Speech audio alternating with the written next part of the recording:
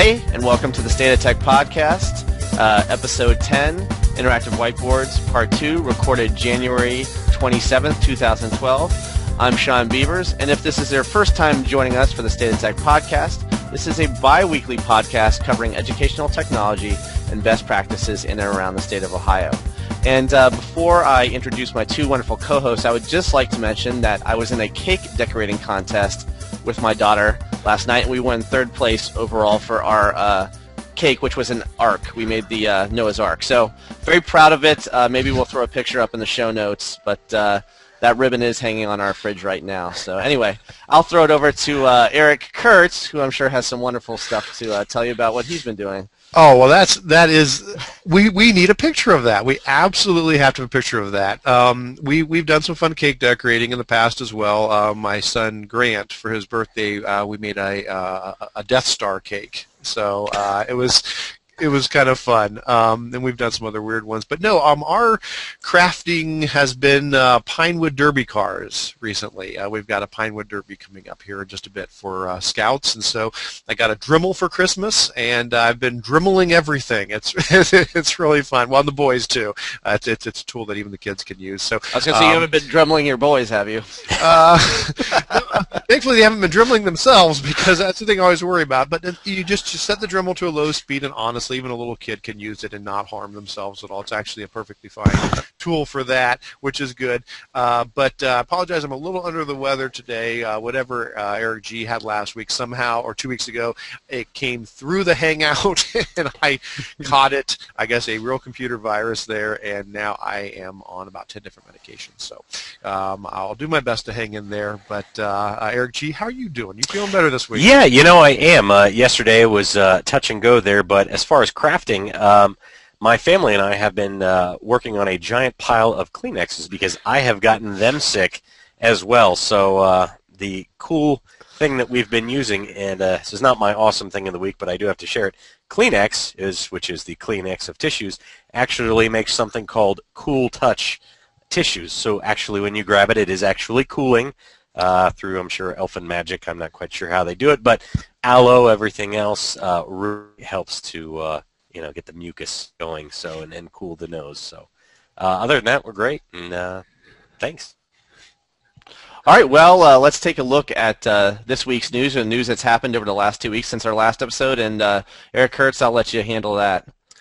Sure, absolutely. Um, and, and, again, if, if you're listening to this podcast and you're not in the state of Ohio, I you know apologize. This section may not apply as much to you, but please hang around. Where it's it's a, it's a short section, but it's always good information that we hope will will benefit folks that are in this area. Just three quick news items this week. The first is um, there's a, uh, a technology conference coming up kind of different. Uh, they're calling it an unconference, the Ed Camp Columbus. That's going to be on March 3rd and what it is is a free participant-driven event, which is PD for teachers by teachers. Uh, the idea is this: there are no sessions predetermined; they're determined on the day of the event, and anyone who shows up can present. So basically, uh, you just show up. It's from 9 a.m. to 4 p.m. It's at Upper Arlington High School in Columbus, and you can register online. Um, it's at edcampcolumbus.wordpress.com. We'll have the link in the show notes as well. Kind of a unique uh, take on a technology conference, and uh, um, I may try to swing down there and see what that's all about. I think that'd be kind of a, a fun event to see how that would work with, with PD. Um, the uh, speaking of tech conferences, the second thing to mention, of course, is we do have the eTech Tech Conference very, very, very close around the corner here, and this is more of a correction than an, an announcement. Um, last time we mentioned about the tech coordinators meeting that would be taking place on Tuesday. Um, and I had mentioned it as February 15th. That was incorrect. Tuesday is actually Valentine's Day, uh, February 14th, and um, it, in, in, in, my defense, it did come that way in the press release, and so I was actually reading it right from the press release, and uh, the eTech folks are correcting that. So for clarification, Tuesday, February 14th is going to be a uh, tech coordinators meeting at the conference right after the keynote, and then following that around either 1:15 or 1:45, we're not totally sure. That's when we do our live recording of the State of Tech. More information on that later on in the show. Hopefully, lots of people can join us for that live recording and actually become part of the show that day. That'll be awesome. Tuesday, February 14th. Um, And then the last news item is um, a blended learning grant. You may remember this if um, you were paying attention several months ago. There was a blended le blended learning grant for Ohio that uh, got kind of pulled off uh, for a while. Uh, we don't know what really happened to it. It was out there and then it, it, it, disappeared. They said they had to retool it before putting it back out. It is coming back now. And so this is a grant that will give six schools up to $80,000 with a possibility of $50,000 more later uh, to basically roll out a blended learning project. So all that information is available on the eTech website, and again, we'll have the links there in the show notes. So uh, that's our news for this week. Sean. All right, and uh, I actually did find a picture very quickly here, so I'll just throw that up. And for those of you who uh, are not watching the video podcast, I'll, I will link this in the show notes. I'll throw it up on PhotoBucket or something. But there's there's the cake we made. Uh, I am very proud of it. I am. Uh, I'm going to be starting my own cable access show here pretty soon. so uh, that yeah. is fantastic. I love it. All right. Uh, well, it's time for my favorite segment of our show, the Awesome Thing of the Week. And my Awesome Thing of the Week this week is a website. It's called My Classroom Window. I just um, found out about this. Uh, Web 2.0 Classroom on Twitter posted this. They're just starting out. You can actually uh, earn points uh, and the basic premise is just to review educational technology, whether that's books, textbooks, uh, interactive whiteboards, which is what we're talking about today, laptops, anything and everything uh, that can be used in education, whether it's a Web 2.0 tool or, or uh, like I said, a piece of hardware. And um, they do have prizes. So first place is a MacBook Air. They have an iPod Touch, uh, a Kindle Fire, and also an Amazon gift card. So if you submit enough uh, reviews, uh, you can earn points uh, towards one of these different devices. And they're looking, to, I think, to get about 500 reviews by the end of February, I believe, but it's on the website. So I thought that was a really interesting idea, uh, you know, to have educators uh, review, you know, not only, like I said, hardware and software, but websites and blogs. And, uh, you know, that hopefully will be a, a community or they'll grow that and it'll be a good place to, to look for reviews. Anyway, I'll throw things over to uh, Eric C. for his awesome thing of the week. Excellent, thanks. Um, for mine, I'm going to be talking about um, an extension for the Chrome web browser, and Chrome is again becoming a much, much, much more popular browser, so hopefully this will apply to lots of folks. And if you haven't tried out Chrome, I really would encourage you to do so. A very fast, very uh, stable, very reliable browser. Here's the problem. There are still some websites out there that really are geared toward IE. I mean, that that's just a fact. Um, you know, folks developed things at a certain time with IE in mind, and they're using certain settings that are just specific to IE, and they don't quite follow the the standards that Firefox and uh, and, and, Chrome and, and, other you know more standards compliant browsers are, are following, and so because of that, sometimes when you uh, bring up a browser, excuse me, bring up a website in Chrome, it may not work properly, and normally that's not a big big deal, but it really caught us in a bad spot about a month ago. The uh, gradebook program we use um, went uh, well. It it got updated, and then Chrome got updated. So it was sort of like a, a a mixture there. When Chrome went up to version 16, it exposed sort of um, uh, an, an oddity in our gradebook package that that no longer worked properly because they were doing something that was more specific toward IE. And so out of nowhere, all you know how many hundreds of teachers in our district would go into the gradebook program, go to intergrades, and then the Chrome error screen would come up. Now, of course, it's that aw snap screen, which I think is kind of a strange error message to get, but all of a sudden everybody's getting this aw snap screen on there, and their gradebook doesn't work, and so we had to tell people, uh, you're going to have to use IE until they get this patched. Well, they have gotten it patched, and that's good. But here's the idea you don't have to completely leave Chrome and go over to using IE when you run across these sort of things. There's an extension called IE Tab. And I'll go ahead and pull that up here uh, so you guys can see that. Um, and it's in the Chrome Web Store. It's just called IE Tab, just the letters IE and the word tab. You can find that very quickly there. And what it does is it installs this extension. Uh, so I'll just go over to like the Google web page. And um, what you'll see is if I'm on any any website out there anywhere, I get um, this little um, button up in my extensions here that looks like the Internet Explorer E.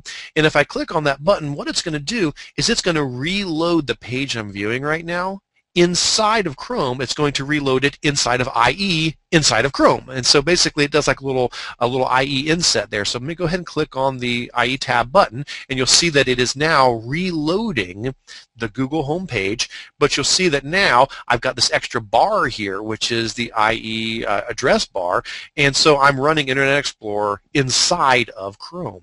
Now, that's good. Okay, so, you know, if I go to my my grade book, I could say, well, be sure to click on the IE tab button and then it will reload it inside of there as IE and then the gradebook will work which is fine, but of course you have to remember to do that each time.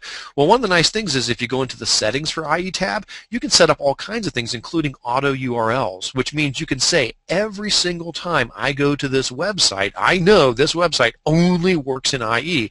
I could type in our grade package address there, and I could add that, and by default, as soon as I go to that gradebook package, without even thinking about it, whoop, it's going to load up IE tab. And I can also go down and set the compatibility mode, whether it's 7, 8, or 9, which version of IE I want to, to, to imitate while I'm in there. So just another great way to for people who have transitioned over to Chrome to be able to handle those few odd websites out there that still are more compatible with IE than they are with Chrome. So hopefully that'll be helpful to some folks.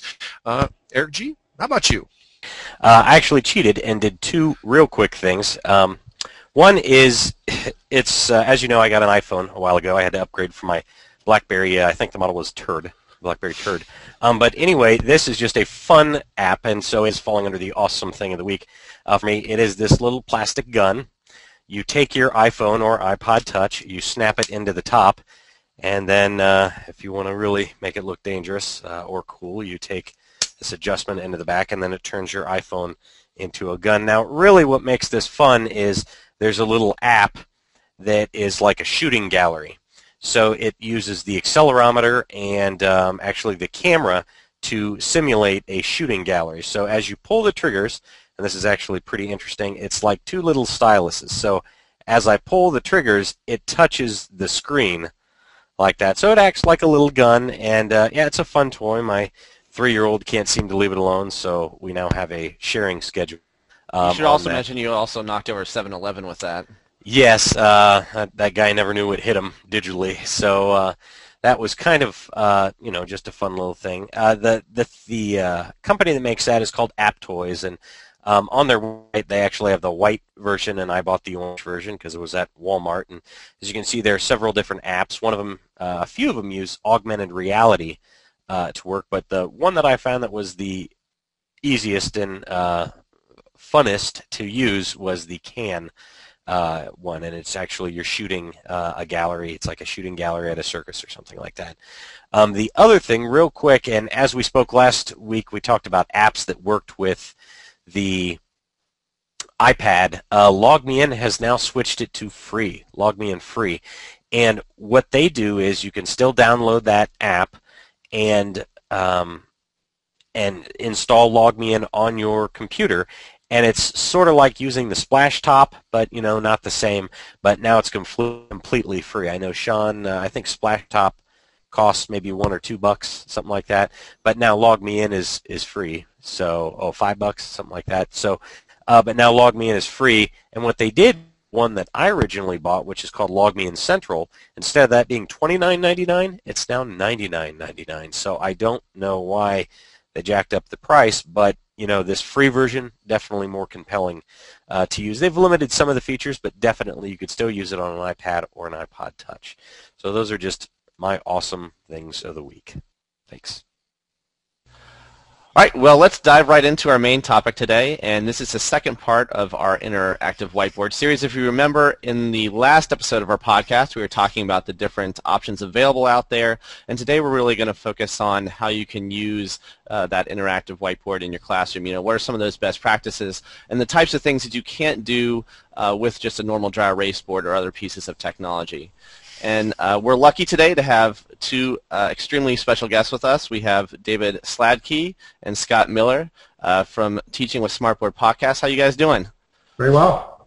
Very well. Thank you very much. Well, if you guys want to just uh, give a little introduction about yourselves and about your podcast. I'll go ahead and start. I'm Scott Miller. I'm the instructional coordinator for mathematics at Naperville Central High School. Uh, been there for quite a few years. Uh, Dave and I both teach in the math department.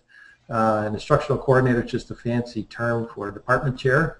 Uh, and we strive to integrate as much technology in the classroom as possible. Excellent. And I'm Dave Sladkey. I uh, also teach at Naperville Central. I'm in the math department. Um, I, uh, I teach one class of Intro to Algebra, and I teach three classes of Pre-Calculus, and I also am one part uh, tech for our math department.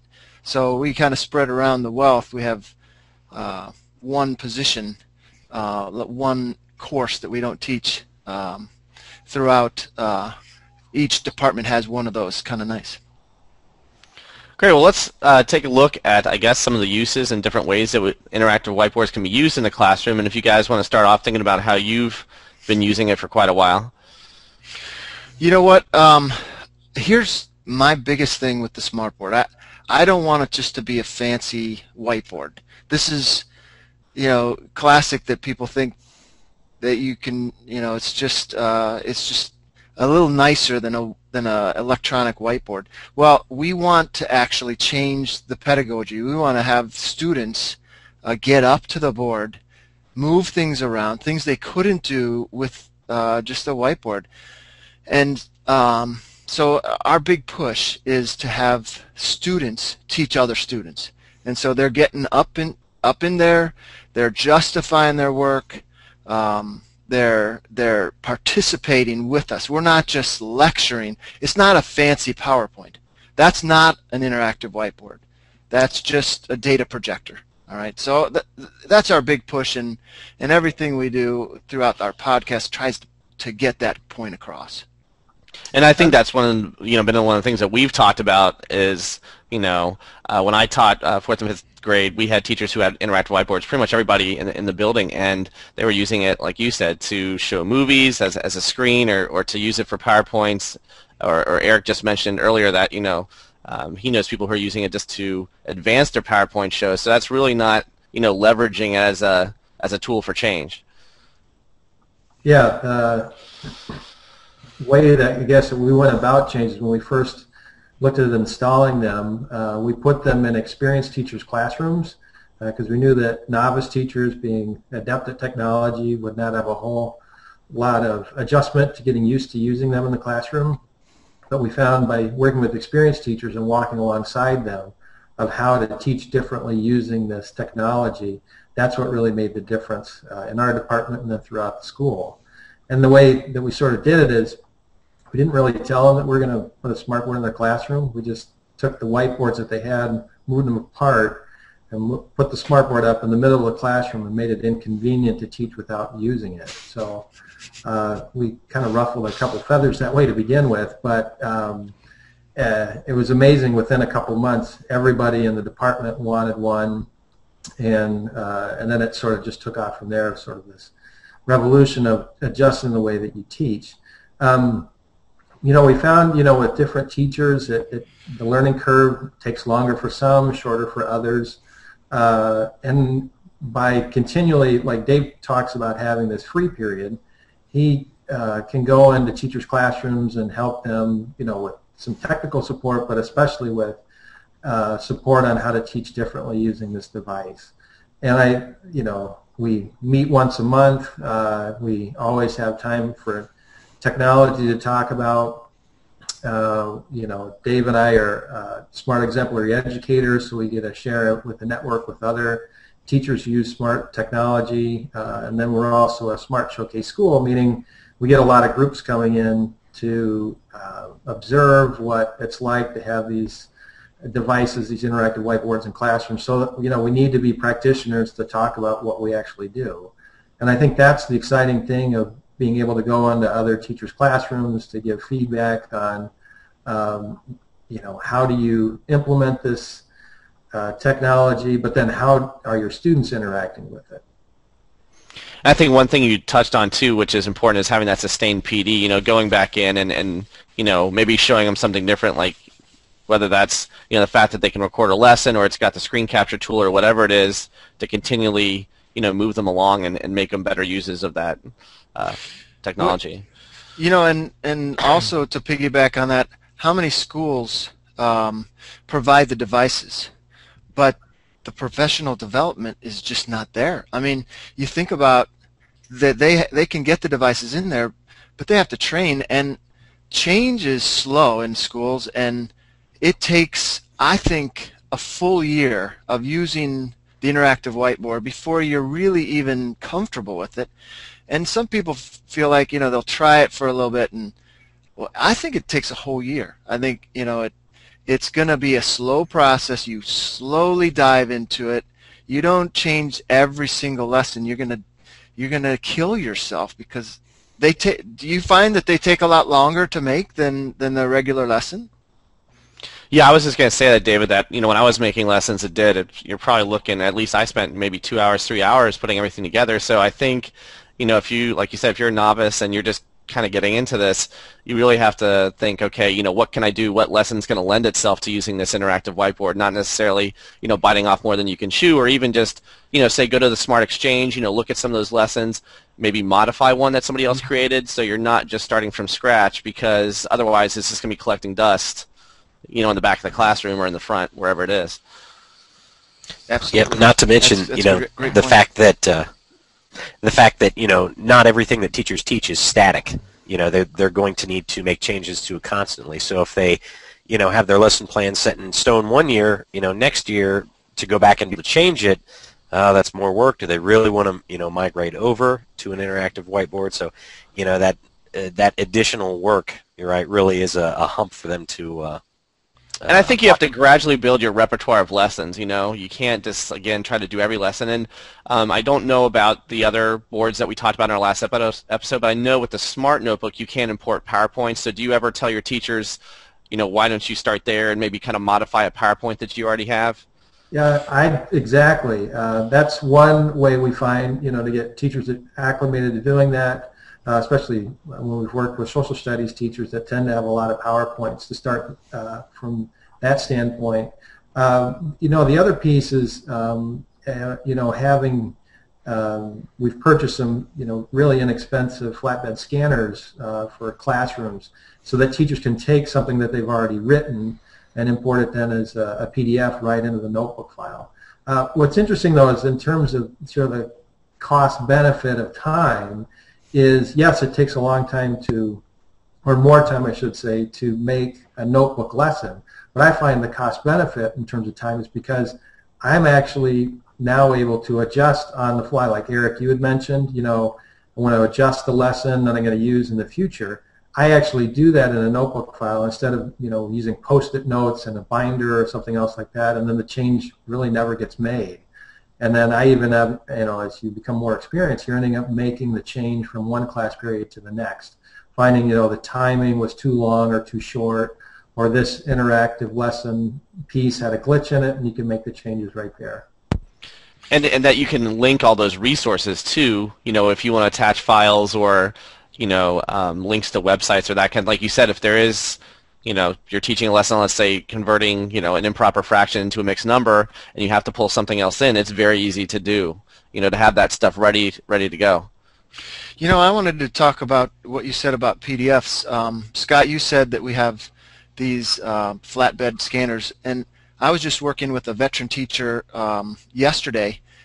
He, uh, our copiers uh, take um, and scan in uh, and make a, a PDF scan to our email, and so he actually was taking a stack of his old um, worksheets that he had written by hand, and he was putting them in the, the copier, making a PDF, and then Smart Notebook software has this feature where it uh, changes um, PDFs to um, Smartboard notebook files, and so he was doing that, and then that has all his worksheets right there, and I think making the change is a big deal for our veteran teachers. So selling it to them, I mean, this is this is part of it, and any Word um, file can be done the same. But I'm thinking of the veteran teachers who just don't have Word files; they have written out lessons or written out worksheets, and so they can actually change it to Notebook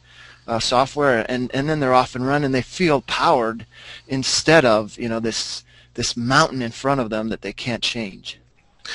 That's a that's a fantastic suggestion. Um, we uh, recently converted our um, copiers over as well, um, and uh, we have a, a, new set of uh, copiers in our district that do exactly that. You're right, and what a wow, that's a that is a great idea for folks who have this whole stack of stuff that they've done. I know that um, like Scott said, we, we, we do have some of the flatbed scanners, and um, and, and teachers will use those for that um, non-planned thing where you just you know want to be able to grab something right away, put it in there, get it scanned in, and then get it up into the smart notebook. Um, and what I've heard from from my teachers who do this, a lot of them are doing this in the elementary level, and th- they're doing it uh, with student work. Okay, uh, to kind of grade it in class, not in any way to, to put the student in a bad light, but to, to show exemplary work to go through, to, to have good class discussions about it. And the idea being that you can annotate on top of it really is very helpful. So to be able to take real work, scan it in, put it up there, and then do all the annotation that you need on it has really been nice for them. But now hearing what you're saying, I love that idea because I know I, I, was a math teacher. That's where I started off. Um, I've been at North Canton Schools for 20 years. I was a math teacher, an eighth grade math teacher for seven years before switching over to technology for the last 13. And I still have my math worksheets. I, I, I can't throw them away. I've gone through and I've thinned them out a little bit, but you know, who knows with, with the way budgets are, I may be back in the classroom someday, who knows, but, uh, but uh, I mean, I still have just, you know, boxes full of math worksheets that I made, and a lot of them were by hand. I mean, this was 20 years ago. A lot of them are just really cute little things I drew up and did and so forth. What a great idea just to take them down, scan them all in, and then you can, you know, bring them up into Smart Notebook and then annotate on them and work through them that way. That's a great idea to help convert some of that old stuff over. Probably even overhead transparencies too, Eric. Well, uh, it was 20 years ago. I'm just saying that's yeah. the technology. Oh no, no. Oh, no. I had. You're absolutely right. No, no, absolutely. I I had loads of overhead transparencies, you know, and, and you tried to make them creative, and you'd have ones that go on top of others to show changes to stuff and all that. No, absolutely, you know, there's no question about that. I don't think I had any of the things you had to crank with the blue ink and it smelled funny and all of that. I, I don't think you didn't have to set your press. I just took it to the monks and I said, I need 20 by the morning. And they would just but, transcribe. You know, the, re- the reality is that um, there's not only stuff we've made, but there's stuff that, that uh, is out there that's still good, but is, isn't digital. And so, you know, they're in notebooks somewhere that's, that's good stuff. I mean, I just used something algebra with pizzazz, and I know it's not digital, but I, I still it was a worksheet, and I just used it uh, yesterday. So that's something that I could scan in there and, and put up on the board real easy. And then that's something too that we found, like with our uh, pre-episode survey, is a lot of the people, you know, in and around the state of Ohio are using that manner where they're scanning either students' work or they're scanning PDFs, like you said, and annotating over the top of it, and it's working out really well. Mm-hmm. I think that what's neat is the transformation that takes place for teachers is eventually over time uh, they're working with work that they've already had. You know, we're ma- helping them make that adjustment of transferring it into notebook files but then eventually teachers sort of flip the switch and then start planning in notebook software itself. And that's where um, it's neat to see the transformation that takes place for them in teaching uh, and then the transformation that takes place in the classroom. Going back to sort of a story, an anecdote that Dave and I have with uh, one of our colleagues, uh, he was planning on retiring, but then by installing a, a smart board in his classroom and then providing him with you know, real-time professional development with, you know, little steps, he decided to stay longer and, teach a few more years. So it's just fantastic. It energized him also.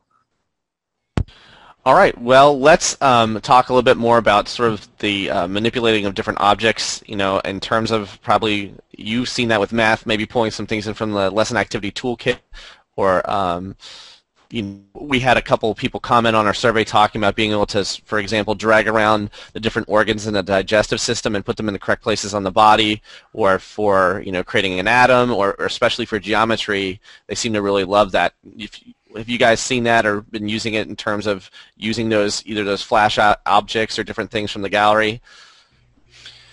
Well, yeah, um, I was going to say uh, that we especially like the fact that you can move things around on the screen.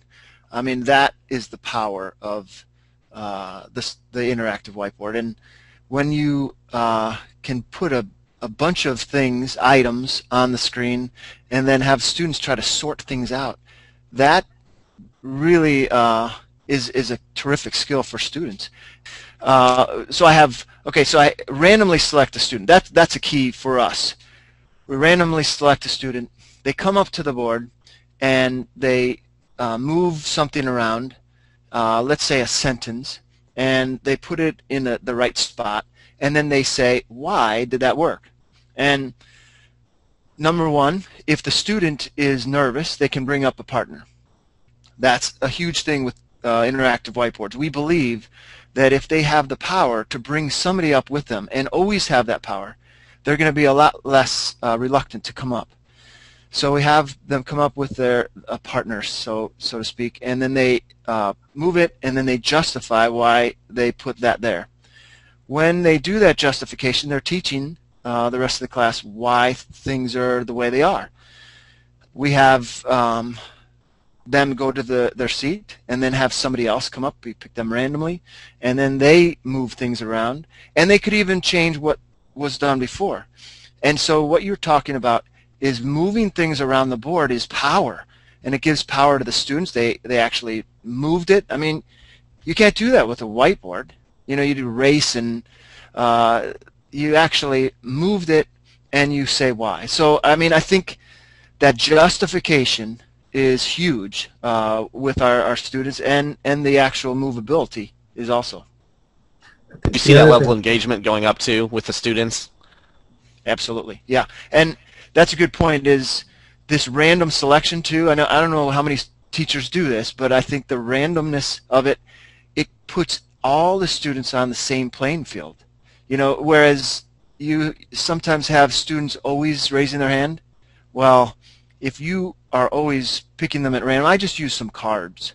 I just use some note cards, and they, um, uh, you know, I shuffle those and pick one out and have a student come up. Yeah. Scott, were you going to say something? Yeah, I think also if you can take uh, a page and clone it several times. So if it's something that uh, is interactive uh, that one set of students is working with, then you can come to the same thing um, in the next page and uh, really designing things that are more open-ended. Uh, I think that's the, the big change in terms of what the actual lesson activity that they're dealing with. You know, whether it's layering things, sorting things, writing things out, um, you know, repositioning things, uh, opening things up, using a, a flash notebook page that, like you said, you know, where you can move the organs of the body around, and then you try to, you know, uh, see if you can resuscitate the animal that you're working with, and it will either work or it won't. So it gives you some feedback that way. Um, but uh, again, the the whole approach of changing from a stand and deliver model to now a model where the students are the ones you're drawing their knowledge base out in the classroom and sharing that with other students is really powerful and engaging. Um, along the lines of you know being able to move things around on the screen. I, I absolutely love what you're sharing there about empowering the students. Um, I, I, have seen though also it empowering the uh, teachers in, in, certain ways. Um, with uh, again going back to math, and I apologize if this is a little bit math centric today, but it's probably going to be with the panel we have here today.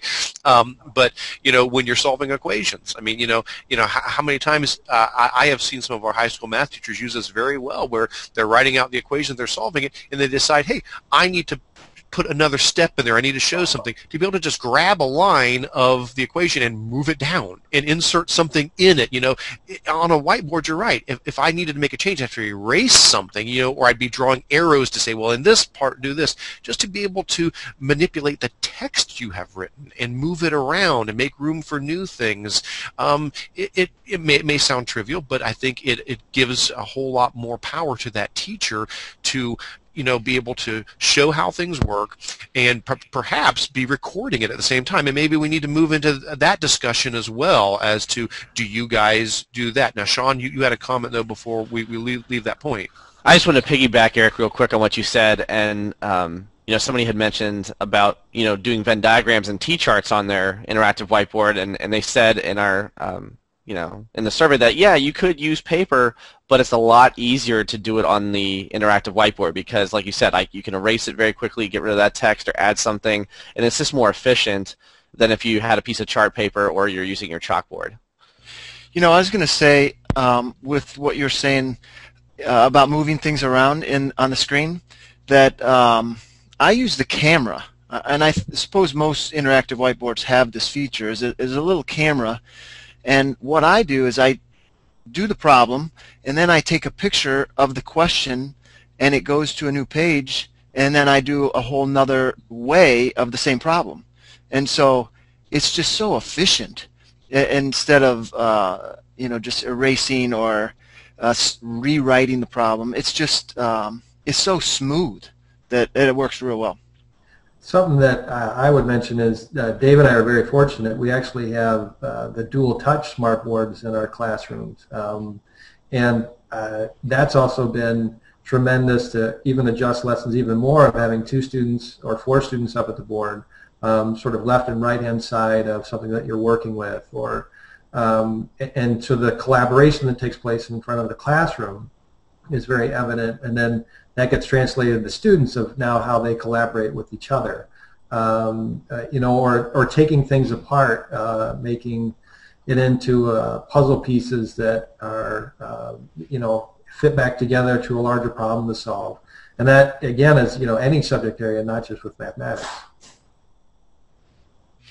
You know, um, I was going to say also about when we are helping students, um, actually teachers, that uh, we have this uh, website called teachingwithsmartboard.com, and we uh, we try to empower the teachers uh, by giving them some templates. We have um, some pre-made templates so that if they wanted to uh, just bring up this template and then change some items on it. It's very easy to do uh, because it's sometimes it's it's um, daunting to to look at uh, creating a whole lesson. So we we provide these templates at the the website teachingwithsmartboard.com, and then they can uh, just double click and it goes right to their uh, smartboard, and then they can type in uh, the, their I, their content uh, with the, the kind of the, the shell that we already have provided for them. Um, and and uh, it's it's worked out well. Eric, you had mentioned about the gallery. Uh, that's a big piece then of creating things, uh, dragging and saving into the gallery, and then being able to drag and use it right there on the fly in the classroom.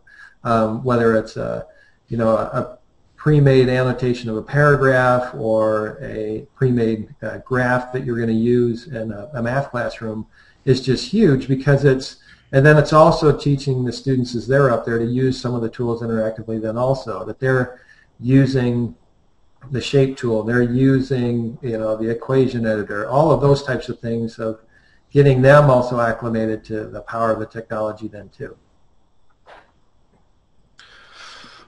That's fantastic, guys. Um, I, I, know we had started uh, to head down the direction of, of recording things. Uh, are you are you guys doing that? Do you either do you know oh I'm done with my lesson and I'm going to convert all of the slides into a PDF, make those available? I know we have teachers in our district who do that. They simply uh, turn the slides at the end of the lesson into a PDF you know, and that way, if it's maybe students need to review it later, somebody was absent. We've also had teachers who, you know, re- record their audio along with it and they turn it into a video file. And, you know, uh, one of our math teachers would do that every day and post that up at, at the end of the day. And the students, again, if they just need to hear it again or if they were absent, they would be able to, you know, basically sit in on the lesson. Um, I'm not sure what uh, experiences do you guys have with that? Yeah, I um, it's what you said with the uh, end of the the slides. I actually change them to PDFs and post them on Google Docs and then there's just this big library of all the lessons I have um, and all the slides that are within those lessons. Uh, students really like that. If they're gone, they they go to them. Um, I admire that teacher that that uh, actually records. That's quite a a lot of work, and um, but it's great for students. I do have to say, um, Wednesday of this week, I used the uh, Smartboard Recorder, which is just a screencast, um, and and made the lesson. They actually watched it at night, uh, and then the next day we did the homework uh, in class, the flipped classroom. You've heard of that before, and that's that was kind of interesting. And um, certainly, I don't think I'm ready for it every day, but maybe every couple of weeks. I think it just it really um, was a unique way to, to do it. Well, now that now that's really exciting to hear that because um, there is a lot of discussion about flipped classroom. There's a lot of discussion about blended learning. There's a lot of discussion about online learning. All of those are things that I know as a district we're looking at and we're excited about, but to make that transition, to get there, you know, how, how do you do that? You know, that's such a great idea to say use these tools teach your class like you normally do, you know, perhaps, and maybe over the course of a year, not only would this be good for a kid who is absent or a kid who wanted to see it again, no, you could actually be building your digital curriculum. You could be recording your lessons. You could be doing all this so that the next year, maybe, okay, I'm going to take what I used last year and we're going to, maybe it's flipping. Maybe I'm going to flip it. Now this year, I'm going to let them watch the lesson that I taught last year when they come into class. We're going to do a lot more interactive now because they've at least seen the lesson. Now we're really going to dig into, you know, taking advantage of that time and having even more interactive. Or let's start offering blended learning or online learning. Let's do a digital academy. You know, how would you ever? Well, we've got to buy Florida virtual courses, or we've got to do this. Well, maybe not. Maybe just over the course of a year, teachers with time and with training start digitizing their instruction and their curriculum. Um, I think that's a really neat idea, Scott. I think uh, another way too is that we've uh, taught our students in some classes at times to do screencasts themselves. So they use the notebook recorder uh, they have a topic. They explain uh, the, uh, whatever problem-solving process, and then they upload that to our server. and then, you know, we can play those, set them up as a video library so that students are hearing their peers walk through a problem. And the neat thing about it is, since it forces the student to explain the problem-solving process, is now you actually get to hear their reasoning. Instead of seeing it written down on paper, seeing it actual and then visual representation followed with followed up with audio is now you can find out okay I'm finding that I've got you know four groups of students that have the same misconception or they're using the incorrect vocabulary. And then that, I can use that as a teaching tool in my classroom. Um, other ways that we've done it too is using you know flip cameras. Uh, you know we have it's kind of neat we have students actually write with dry erase markers on their desks and explain a problem that way with the flip camera uh, then we upload the videos and show those, you know, through notebook software uh, at times, and then start and stop, annotate, uh, and it's just a, a, tremendous feature then to look at. You know, this is a, a tool in the whole repertoire of, uh, you know, engaging students in technology. And that, you know, another piece too is thinking, well, let's say I want to do stations in my classroom, especially in an elementary classroom. Well, being intentional of using the smartboard as one of the stations in the classroom uh, as the students are maneuvering around. This kind of jump on what you guys are talking about. I know that teachers have been using it too for subs uh, pretty effectively. There's one uh, particular educator in Ohio that uh, we are all fond of, uh, Brett Gensberg, who I believe is also a smart, exemplary educator. And I know he was using it when he was in the classroom to record a lesson if he knew he was going to be, you know, on vacation or if, if he was sick.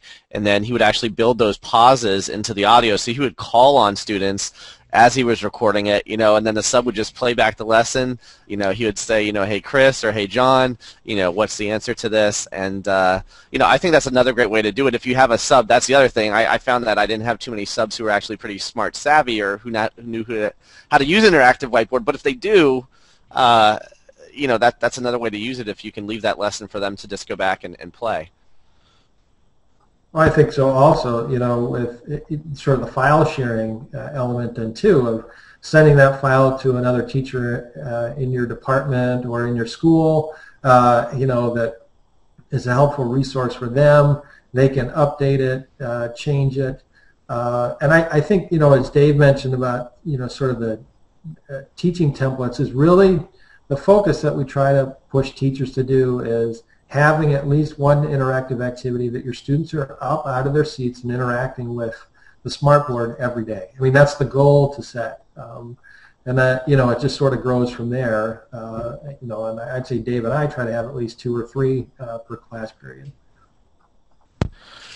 All right. Well, um, we've kind of talked a little bit about recording and, and some of the ways that you can manipulate the board with different objects. Uh, one of the things that was also mentioned was using it with interactive websites. And um, I was talking with Eric C. a little bit earlier before we started recording. And uh, one website that I really like is this BBK or BBC UK uh, Science Bites website. I don't know if you guys are familiar with that or not, but they have a lot of really interactive activities.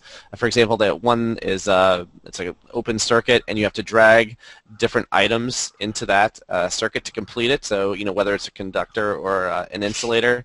And, uh, you know, that's one thing that definitely lends itself to, I think, you know, using the board or um, the Library of Virtual Manipulatives, which I'm sure if you guys are math teachers, you're familiar with that. That's also another excellent site. And I think, Eric, don't you have some of those that you were going to share? Sure. yeah, sure. Um, we um, put smart boards in our kindergarten uh, this last year. We were very fortunate, had a, uh, community donor who uh, wanted to have that happen, and so it was it was a fantastic opportunity for us to get uh, smart boards into our kindergarten, and it was this all at once thing, you know. So it was a little different than you know, oh, in the past somebody gets a grant, they become a lead teacher, and then they help others. It's out of nowhere. Suddenly, all these teachers have smart boards, and they're like, "Oh, what do we do?" you know, and understandably, I mean, which makes sense. And so we wanted to give them some resources, and so several of us in the tech department, several of the teachers started trying to pull together some stuff. And you're absolutely right. There are you've seen a change over time it's like the chicken and the egg thing where you know at first there were some neat websites that you could use on the smart board but then because they were smart boards neat websites started developing that were sort of geared toward that you know making manipulatives and making things that had nice big buttons. And when you go to those websites you can tell they've been kind of tailored to use in a touch sensitive environment. Uh, so uh, you know a couple examples I'll just pull up on the shared screen here real quick real quick. Like there's one called smartboardgoodies.com and again I, I can't speak too much about I mean, I we, we found them. We thought they were useful. The kindergarten teachers have been using them. But like Smartboard Goodies, basically, they just you know frequently post you know uh, some of the what they consider to be some of the best interactive websites that are just really geared toward uh, using on a smartboard. And so, you know, they've got all these great websites they've come across that just really lend themselves well to that. So that'd be a quick example of one. Uh, again, I know these are young, you know, kids that because I'm showing examples from our kindergarten, but uh, the uh, Utah Education Network has a uh, K2 student interactive site where they've just pulled together loads and loads and loads of websites in all these different subject areas that are highly interactive that would really lend themselves to that, you know. And then beyond that, I mean, there's all sorts of other websites, um, and I'm just throwing them up on the screen real quick here, but I'll go ahead and I'll, I'll bring these up. Uh, I'll, excuse me, I'll add these into our show notes. So please be sure to, as always, check the show notes uh, for on the website, and we'll have links to all of these as well. And other folks on the panel, if you have some ones you love, please throw them in our in our Google Doc for the show notes, and I'll add them into the show notes on the website as well. Um, what about you guys? Any other uh, resources that you try to point your teachers to uh, to help them in this transition to using the smartboard? Uh, one of them you had up there was the Teachers Love Smartboards uh, by, you know, we know Jim Hollis quite well uh, on his blog that he has, uh, and, you know, and encourage teachers to subscribe to that. Uh, a lot of this stuff works really well for uh, middle school and elementary teachers. there's, you know, you mentioned some of the other, you know, virtual manipulatives library, and then also encouraging teachers of how to use, you know, some of the software that they have within the interactive, you know, whiteboard environment, you know, things like GeoGebra uh, for math classes, uh, using things uh, or Geometer Sketchpad, or uh, working with, uh, you know, a virtual calculator or something like that, of, you know, really stressing that then also, uh, and then just keeping searching and going, you know, a lot of different ways, um, you know, of different websites that are out there to access. Scott, why don't you talk about the virtual calculator for a little bit because that has been a, quite a change uh, for us in mathematics. Yeah, uh, what you know, it kind of happens at times. Well, you know, it happens in Dave and my classroom. I'm not sure if it happens with a lot of other teachers. Probably does. Is you have a student who doesn't bring a calculator to class, uh, so you sort of turn things around and uh, pull up a virtual calculator because uh, we're using it in class, And we have a student then go up and interact with the calculator and then demonstrate and explain things. Um, and the, the big thing is now the students can see, you know, screenshot for screenshot of what your buttons are pressing, talking through that, and then what, you know, they should be seeing. You know, very different than the old overhead graphing calculator template, which was nice, but the students could never see what is the actual sequence of buttons that are getting pushed to demonstrate what, you know, how the graph came about. Yeah, and furthermore, um, the pace that we take when we are punching the calculator buttons up there compared to the pace that a student takes is so different and we don't realize how fast we're going and then the rest of our class is lost. We have a student up there punching the buttons. The other students can see them punching the buttons, and they're going at the same pace. So, wow, that has just uh, really impacted our math classrooms. And I suppose it could do as science as well. And the other thing, too, is you can grab a screenshot of the graph or whatever's on the calculator screen, just drag that right into the notebook document and then post that as a PDF, you know, for students who need, you know, some more resources to look through notes or other things like that, or if they're absent. All right. Well, you know, um, one thing that has jumped out at me as you guys have been sharing this, uh, maybe it was a preconceived notion on my part, uh, but you know, a lot of times I think about how young kids are so tactile. But I'm hearing you guys talk so much about uh, high school students, correct? You know, really enjoying going up and touching the board and using that. So uh, that's great to see uh, because we do hear a lot about how younger learners really it's very great for them to be able to go up and touch the board and interact with it and they're very tactile and they, they learn that way. But it sounds like this uh, works uh, K through 12 that uh, no matter how old you are, kids love to get up there and interact with the board. Scott? Yeah, I uh, I totally agree with that. and then going on the other end of it, students that have trouble with fine motor skills, um, you know, we recommend having a tennis ball in the classroom, you know, where they're having trouble in terms of, don't know if it's special needs students being able to touch the board at one, you know, touch point, and then grabbing the tennis ball and using that to manipulate things uh, on the board and, and everything else like that. You know, the, the tactile piece, you know, we, we're big at our high school, especially looking at the impact of movement on learning. Um, so within every class period, we also have students participate in brain breaks. Um, you know, get up and out of their seat, um, whether it's with a partner or individual or a group. Uh, so then they get re-energized and blood flow back to the brain, uh, and they're ready to re-engage in learning. And we treat then the whole piece of students getting out of their seat, getting up to the board, and interacting with it. And a tactile kinesthetic sense is again fits right within our you know, our whole belief system of the more active a student is, the better off they're going to be in terms of learning things.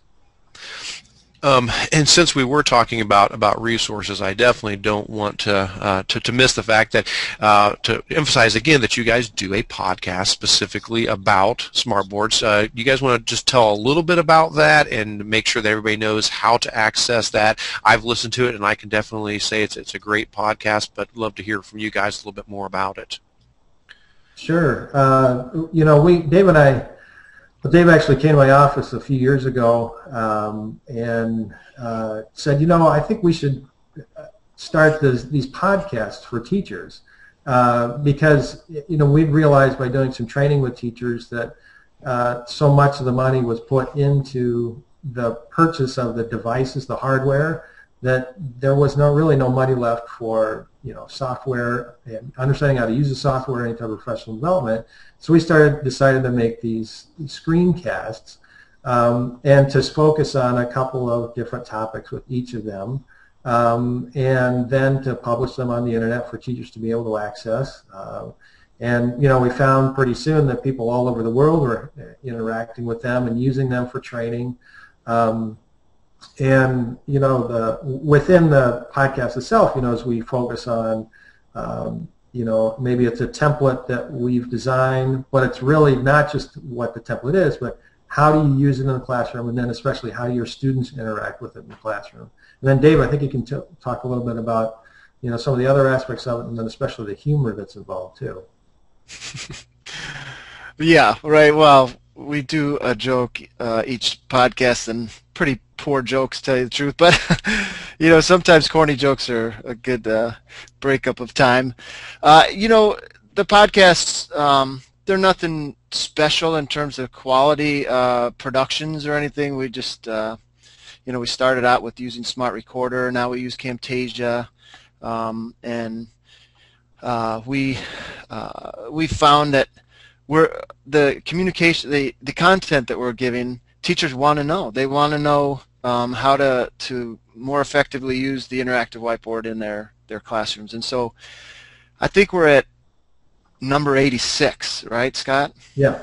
And we're marching towards 100 very, very slowly. We, you know, we were trying to one one a week for a while, and I mean, you guys, I, I don't know what podcast you guys are on now. Is it is it uh, what number are you on? 10? Okay. So that is impressive because we're marching slowly I mean, towards 100 too. ours are uh, maybe 15 minutes long, and uh, as we've neared 100, we're, you know, I keep telling Scott I'm ready to be done, but uh, he said, "Oh, we're going to do, we're going to get 100." So, so we will see. But um, you know, I think teachers really want to know how to get better, and they they they're using their own time. They're uh, they're looking into different strategies that will help them. I mean, the uh, uh, we're just trying to help, and and we enjoy it, and um, you know, I don't know. And I, and I think that's key. You know, even if, like you said, you can't afford, you know, the professional development, the fact that you guys are doing that and putting that out there that teachers can go and watch, and if they just want to learn one little snippet or one little tidbit of how to use their board better, that's huge. I, I think what's uh, also been neat too is to you know you'll you'll go to a professional conference somewhere, um, you'll be sitting beside somebody at you know it's a, a session about using a smartboard or an interactive whiteboard, and then you know in conversation you know you mention your name, and then they're like, oh, I've heard about you know your podcasts and screencasts, and they've been so useful, and that's I think just been tremendous to hear feedback from people on how they've been able to take what we've offered and then take and adapt it to their own classroom. I think it's just the feedback of hearing teachers being able to, you know, you're never sure, like I'm sure you guys are, how how far reaching is this? Is it making a difference for people uh, with the time and effort and energy that you're putting in? Um, I think another thing to mention too is that on our, you know, our um, our uh, website, teachingwithsmartboard.com, we have some other resources. We actually have a print book uh, of the you know easy interactive teaching templates for teachers to use, and then also some notebook files uh, for teachers to work with then too. Um, and it's you know to try and provide as many resources for teachers to use that you know don't have a whole lot of access of things that they're able to have because of lack of resources in their own educational setting. Hey, I want to turn the tables for a second. You guys have done this for 10, 10 sessions now. What uh, what things have you enjoyed uh, and um, learned along the way that that has uh, in this journey of, of podcasting? Well, I tell you, it's it's absolutely been a benefit for my district. I mean, just for totally selfish motives. I mean, if nothing else, and I truly truly do believe, yeah, people are benefiting from it. It is helping folks, and, and, and if not, I mean, you know, we sort of have to question, you know, why we're doing it. But even if nothing else, just getting to meet guys like you, just getting to meet folks like Carrie Herod from Forest City uh, on BYOT, and getting to meet, you know, all these other people. You know, we've had folks on from California. We've had to bring that kind of knowledge back to my district because you know basically what I do is you know I share these podcasts as well with the teachers in my district. And I I learn you know this is my professional development. I'm learning so much from you know having to dive into these issues. You know we've talked about Google Apps we've talked about BYOT and we've talked about creative tech support we've talked about tablets and we've talked about oh who knows what all else all kinds of great things. We even did one on on technology and math a, few episodes back which was which was great. Um, and so you know for just even selfish reasons it has been wonderful for me to learn so so so much that maybe in the normal daily grind of being a tech director I you know I just wouldn't have had the time to get out and research all these sites and talk to all these people but it's brought this information together so if it's helping us that way I truly do hope it is helping others as well. How about the others of you? Uh, it's you know the groupies. Uh, I'm just saying. Um, no, yeah, I, I, I agree with Eric 100. percent That the benefits of uh, you know just getting the information um, there. You know, we don't have any answering questions in the normal day at work to uh, to do all this research, and you know, if our guests or you know one of the other group members, uh, team members, does it for us, that's that's fantastic. So I'm good part. Yeah, and I don't want to sound like I'm copying you guys, but certainly, you know, I do professional development. I mean, that's my job. I go into schools and, and work with districts, and uh, yeah, to learn new things. And certainly, you know, we do our awesome thing of the week segment, and I'm, you know, Eric Curts might share a website, or Eric might share, uh, you know, a gadget that he just got on QVC, and you know, you, you, you learn about that new stuff, and it and it's it is it's enriching for me, you know, and, and also for, for what I do for a living. So it's been real great. And uh, you know, the only thing I think that I've learned besides all that great knowledge is just you know you got to kind of fly by the seat of your pants, and things change. And um, you know, I always think there's stuff that we could do better in an episode, but you know, you don't get that do-over. You just got to kind of go into that next one and think, okay, you know, what am I going to do to improve? And but uh, I think we're we're kind of getting into the groove. I think. Uh, hopefully, by the time we do our live one at eTech, we'll be uh, we'll be a well-oiled machine. So. Well, I just think uh, it's great that you. I mean, it's Saturday morning, and obviously, you guys are taking your own time here, and I, I, I think it's great. I think the uh, the people you're influencing are really appreciating it.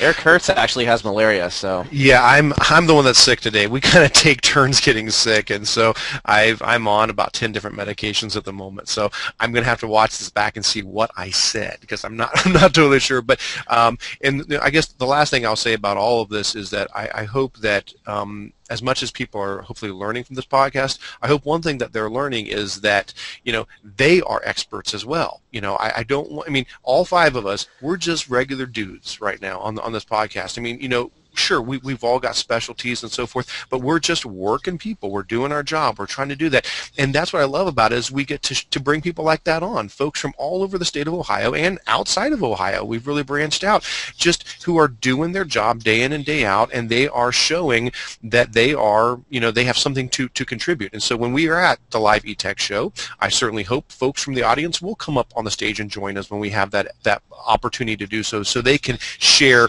something neat that they've learned at the eTech conference and so forth. I guess the point is I just want to encourage people to realize that everybody out there has amazing things to offer because they are educators and we're all educators at heart.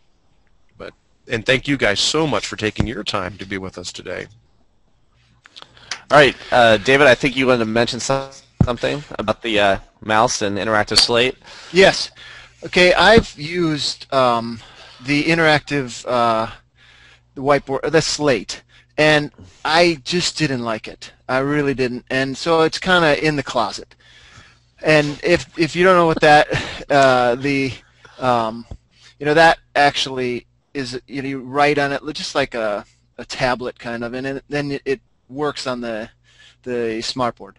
Well, for me, I just learned two weeks ago that my wireless mouse works from the back of my classroom, and since it works from the back of my classroom, it's so much easier to use. That, and I've had one of those pointer things, you know, those laser pointer things that you you know move around with your thumb, and, and that was not very user friendly either. So I, those didn't work. So I put use this mouse. Um, a, a colleague told me about it, and I just go to the back of the room and I help a student that's up at the front of the board. And wow, that has given the student much more power because then I don't have to rescue them. How many times do uh, students get up there and you have to walk up there and rescue them? Well, now I'm just in the back, and actually, uh, the colleague that told me about it, he just uses it on his pant leg if if uh, need be. You know, he just wherever he is in the room, he's got his wireless mouse. Uh, mine is a Logitech, um, and I know some don't work from the back of the room, but um, I, I think wow, it's it's uh it's revolutionary for me. I don't know. What do you guys think? Well, I was gonna say, do, do you guys remember they actually used to, didn't they include a Bluetooth mouse with the first uh, airliners? Yes, they did. And you were supposed to. Were you supposed to? I think. Could you? Were you supposed to use it on top of the slate, or were you supposed to use it on your on your pants leg? That seems to be like the uh, go-to mouse pad. Uh, yeah, the only thing I would say about the uh, airliners and other slate things like that is it does seem to depend on the person. Um, it's we've got some teachers that it just makes sense to them, you know, and, and they totally get it. Maybe people who come from more of a, uh, maybe they've, like art teachers who have used, is it Wacom or Wacom, W-A-C-O-M, Wacom, Yeah, I, I, I pronounce it wrong two times. And okay, very good. So um, I found both ways to say it wrong. Um, so uh, yeah, the, the Wacom tablets, because you can't see on the tablet what you're doing. You have to watch the screen while you're touching it. So for some folks, that just clicks in their brain, and they've even mentioned how they love to just walk around the classroom with that tablet because it gives them the ability to do everything they would normally do on the smart board, but to be mobile while they're doing it. They're in the back of the room. They're next to a kid. They're, you know, and you know, if you're a teacher, a kid gets off task a little bit, starts, you know, not paying attention. How powerful it is just to walk and stand next to a child. You know, I mean, we all know that. You know, that kid brings them back on task. So to be free to walk around the room. Those who that makes sense to them and they're comfortable with that, and then they give it to students, you know, and the students can write on it. Um, but you know, whatever the case, um, I think one thing we are now starting to see is folks who are combining like an iPad with the Apple TV with the smartboard software and with the smartboard. And so at that point, you're now using uh, a Splashtop as a remote desktop client. And so you're seeing on the iPad what is on the screen. So you're not having to look at the screen while touching it blindly. You actually now can just be touching the iPad and controlling it. And so we're starting to see some really neat combinations of technology. Yeah, and, and I understand that. I um, uh, no, it's okay. Uh, I just know that these cost 10 bucks or 15 bucks, and when you give it to a student, they know how to use it. Whereas the slate, I've given them to students, and they're like, "What? I don't know. I don't know how to use this." And so it's there's a learning curve for the students if you're using it for them, but uh, I understand some teachers it's probably very beneficial. Just an option though, wireless mouse, give it a shot. Yep, one of the uh, suggestions I was going to make was the uh, and um, it's you know we use this at Vandalia a little bit, and it's actually you know uh, motion controlled. So you stand at the back of the room, and really no need to use the pant leg uh, to do it because it actually you just wave it in the air like a remote, and it's pretty impressive. So a little more than a wireless mouse, but you know does the same thing. There are other mice or and remote presenters that come with uh, laser pointers and things like that too. So definitely I think cheaper you than a slate too. or a or a tablet. Yeah, go ahead. You you had mentioned using the mouse in conjunction with a wireless keyboard at one point, didn't you? And that was working out pretty well. You know, being able to be Yep, you mobile know. and, and And the the interesting thing that not a lot of folks realize about this is you can have a large number of wireless mice and keyboard plugged into one PC at a time. Um, USB actually handles, I think it's up to 128 devices at a time. So if you, you know, just dropped a little bit of cash um, and bought 10 sets of wireless keyboards, or let's say we have five or six rows of students, there's a wireless keyboard mouse combo in, in every row. They're all plugged in. You know, they can just pass them around. I mean, you don't see six mice on the screen at one time you only you know have the option you know one keyboard controls that one mouse uh, and and uh, interactivity between the keyboard at a time but the fact that you know that all works at the same time it's a pretty neat pretty neat technology so and cheap Uh, I think one other uh, you know device that we use that's just been amazing with an interactive whiteboard then is using a student response system. Um, you know, Smart has a Smart Response. There's other companies that have those devices too, and it- that uh, just in change of moving to a lot more formative assessment in the classroom, students getting immediate feedback, uh, having that integrated into a lesson is just amazing uh, in terms of the students checking for understanding. Uh, and then, you know, uh, the big piece about that is um, when students go over the answers, uh, you know, the discussion that takes place. Um, the, you know, that students are actually talking about the answer that they came up with or asking other students, how did you come up with that answer? Can you explain that to me? Just, you know, completely change the engagement level in the classroom when it comes to assessment.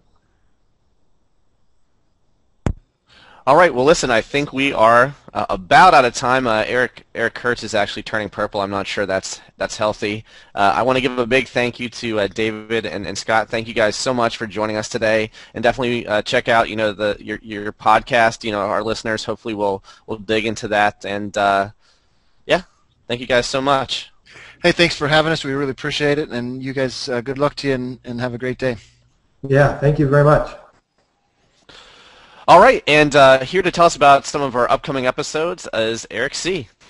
Yeah, absolutely. Um, the uh, next episode is that special one. We keep talking about it and mentioning it. Um, it is going to be our live recording at the ETech, um, Ohio State Technology Conference. Um, and again, that is Tuesday, February 14th. I apologize, last episode we had, we had said February 15th. It's Tuesday, February 14th, Valentine's Day. We love technology. I love the show. It just all fits together. Just be a love fest all around. Uh, but we're really, really appreciative to the folks at ETech. They are setting us up on on the main stage in Battelle Hall with a professional recording crew and everything. I mean, I, I, I really thank you guys very much. They're, they're, taking this very seriously and doing a really, really nice production for us there.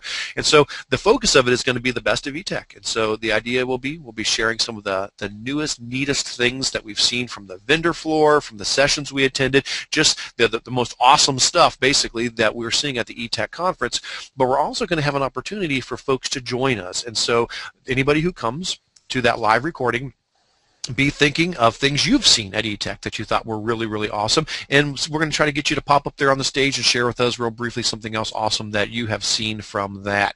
So that is uh, going to be, again, February 14th, Tuesday uh, in Battelle Hall, sometime around 1.15 or 1.45. I apologize. We're not positive on the time. We've heard two different times, so it's going to be sometime sh- shortly after 1 o'clock when, when that happens.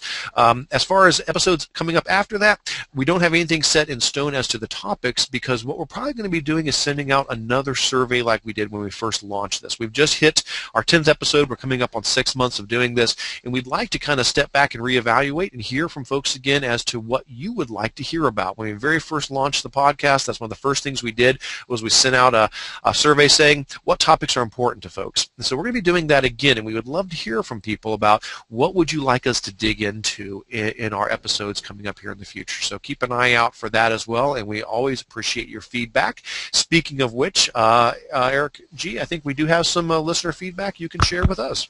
Yes, yes, absolutely. We got a couple of uh, emails, and uh, Derek Myers, the tech coordinator from Twin Valley, actually emailed me and said, "Hey, I've been watching State of Tech podcast ever since the first podcast, and uh, last week he was talking about."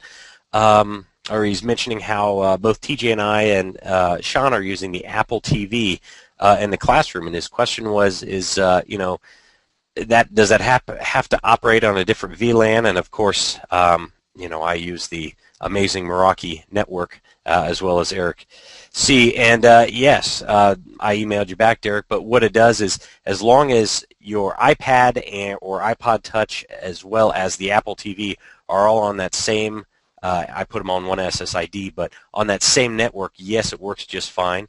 Uh, he also wants to know about, um, uh, you know, using uh, having it connected or connecting to wireless. And you know, I have an Apple TV at home, and it is plugged in, and uh, it works just fine. But you know, wireless uh, using it wireless at the school, there is just a touch of lad, uh, lag. Uh, but that's only when we play Angry Birds on the big screen. So other than that, that's just fine. Um, an additional, um, just kidding, we don't play Angry Birds not during school time. Um, we also have another uh, listener feedback message from Brian Shaw, tech coordinator at Waynesfield Goshen Local Schools, and he says uh, he was finally able to watch uh, all the State of Tech podcasts this week. So uh, hope you didn't burn out your eyes watching every episode. And uh, it, he says uh, you'd have to say that we did some nice work, guys. So we should all pat each other on the back for that one. I'm, except Eric, I'm not going to touch you because I just got over sickness. So. Um, including the tech predictions one. So, hey, we thank you for watching, guys, and um, we appreciate you. Keep on watching. Um, as we mentioned, you know, as far as uh, getting in contact with us, uh, we always want to uh, let you know that the ways that we um, have available to contact us. Um, one is by phone. It's 513 318 TECH. That's 513 318 8324.